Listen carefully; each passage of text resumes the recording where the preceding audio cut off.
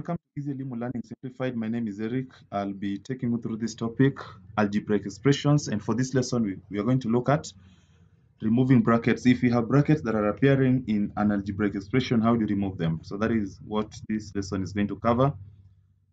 And hopefully you learn something in the process. So we have a few questions just to help us illustrate that and uh, basically just to guide us all through how that can be done. And at the end of the lesson, we have some assignment there just to help you practice on the same and just to also help you gauge on your understanding of the concept as discussed through, through this lesson. So we, we have our first example here just to help us illustrate. So what you can see displayed on the screen, so these are the ones we call brackets. So what's supposed to happen is if you have brackets like these ones here, we have expressions that are covered within brackets. Then you look at the number that is outside the bracket. So this number that is outside the bracket is supposed to multiply both terms inside the bracket. Like 3 will multiply A, will, at the same time it also multiply B. The same happens to 2 will multiply A, will also multiply B.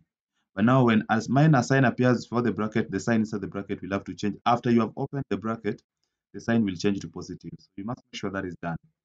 So here we have 3 multiplied by A to give us 3A. Addition. 3 multiplied by b to give us 3b. And then here we have minus 2 multiplied by a is 2a. Now because the minus sign is in front here of the bracket, the sign inside the bracket will change to plus. And 2 by b is b, is uh, 2b. So we have uh, 3a and 2a, we combine them. So you collect them together. They are like terms. They are containing the same letters which are also raised to the same power. So 3a minus 2a, and then we have 3b plus 2b. So 3a, when you are subtracting terms like these ones here, the like terms, remember we said only like terms can be added or subtracted. So if you are subtracting like terms like these ones here, then you simply subtract the coefficients. So that means 3 minus 2 is 1. So it's supposed to be 1a, but usually if the coefficient is a, you don't write that coefficient. Again, coefficients are these numbers that are written before letters, you see. So 3 minus 2 is 1. So it's supposed to be 1a, but I'll just write a. 3 plus 2 is 5. So I have 5b. So this simplifies to a plus 5b. So a and 5b are two terms that are unlike, so you cannot subtract and add them. So that is the farthest we can go with that expression. So again, we have this second example here which now you look at this, there is no number here. Before, remember we said the number outside the bracket is supposed to multiply all the numbers inside the bracket. So you can't see a number here. So if you can't see any number there, then usually the interpretation is that it is 1. Again, if it is 1, you remove it. You know, so you start with 5 and then minus, because there is a minus sign here, all the minuses inside the bracket will change to plus. The signs inside, inside the bracket supposed to change. So 1 by, 1 by 6 is 6. So this is 6a. And then minus will change to plus here. Then 1 by 3 is just 3b. Again, the minus there will change to plus. And again, 1 by 8 is 8. So again, you collect the like terms, like 5 and 8. So we have 5 plus 8. You know, the signs are written on the left hand side of the number. So as 8 moves to this other side, it moves with the plus sign. We're just collecting the like terms together. And then, of course, now we start with uh, minus 6a. And then we have plus 3b.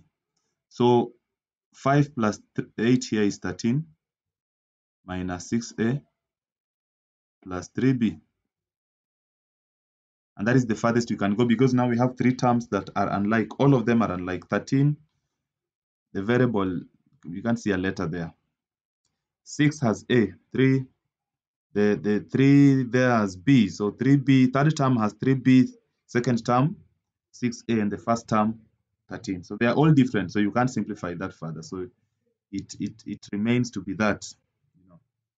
So the, that is the farthest we'll go with it. So we have another one here. Again, this you will start by opening up the brackets. Just rule of BODMAS. If the bracket is there, you start with the bracket. So we have a over 3, which is a third of a. So 3 here multiplies all the numbers inside the term, all the terms inside the bracket, all the terms. So first term is here, second term, third term inside the bracket. So 3 will multiply all of them. That is the rule. If you have a, a, a, a multiplier outside the bracket, then it has to multiply all the terms inside the bracket. So you have then 15a. I'll put it over 1 because this one is. Remember, any number can be written as an improper fraction with a denominator of 1. So I'm just putting it over 1. Then, of course, plus 3b over 1 again minus 3c over 1. So realize here the signs inside the brackets, inside the bracket, they haven't changed. They have not changed here. So the signs inside the bracket, they only change when you open the bracket when there is a minus sign before the bracket. So this is positive. So the signs will remain the way they are. Of course, now here I'll use the LCM of all the denominators. So LCM of 3 and 1 is 3. 3 divided by 3 is 1. 1 by a is 1a. So you just write a. Uh, one, uh, 3 divided by 1 is 3. 3 by 15 is 45. Again, 3 divided by 1 is 3. This looks like 33. So it's supposed to be 3b. So 3 divided by 1 is 3 and 3 by 3 is 9b. Yeah. Again, 3, 3 divided by 1 is 3. 3 by 3 is 9c. Then you collect the like terms in the in the numerator. So we have a plus 45a, that is going to be 46, 46a. Then plus 9b minus 9c. Everything divided by 3, and that is the farthest we can go with that. So the, the numerator here, there are three terms, but they're all unlike. So you can simplify, you can't simplify that further. So it remains to be that.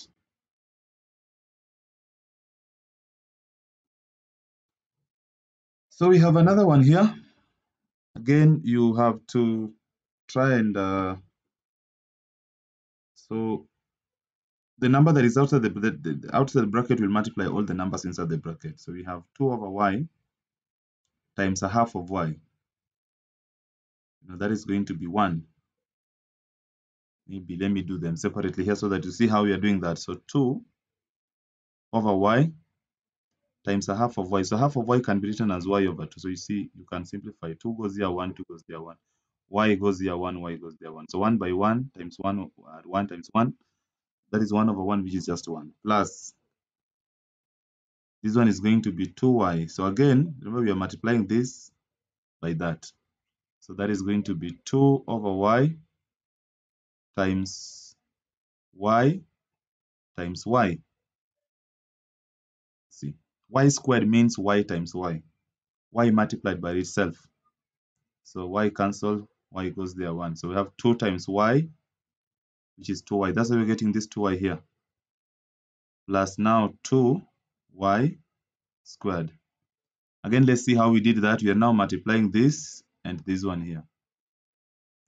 So you have 2 over y times y times y times y. That is y cubed. So y cancels this, and then we have, oh, this is 2. So we have 2 multiplied by this, by this. So we have 2 times y squared, which is 2 y squared. See? That's why we are getting this one here. But again, if you look at the terms, they are all different. So you can't really simplify this further. So it remains to be this one here. So that is the farthest end we can go with it. So it remains to be that. Again, the signs inside the brackets are remaining the way they are. They are not changing because there is no negative sign before the bracket. So we have uh, these questions that are supposed to help us practice on what we have learned. So I will attempt the first one and then you'll be able to attempt the rest. see.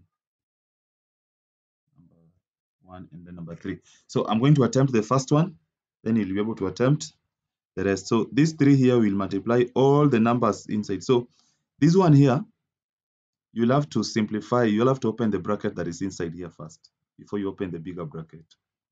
So it means the first step is just going to be 2b minus 3 into 3 minus 2a This is this 2a here. So this 2 multiplies both terms inside the bracket. But then, remember the sign will change. The sign inside the bracket there will change. So plus.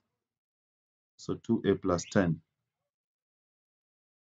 Then now you open up this bracket. So we have 2b minus 9. Uh, 3 by 3 is 9. And this sign will change because of the minus. So this will change to plus 6a. Again, the plus sign will change to minus minus 30. So you collect the like terms together. So you see we have 9 and 30. So we have 2b plus 6a minus 9 minus 30. So we have 9 minuses and 30 minuses. That is a total of 39 minuses. So this is going to be 2b plus 6a minus 39. And that is the answer. So this is the answer to this. You can attempt number 2 and number 3. And uh, that marks the end of our lesson. Until next time, goodbye.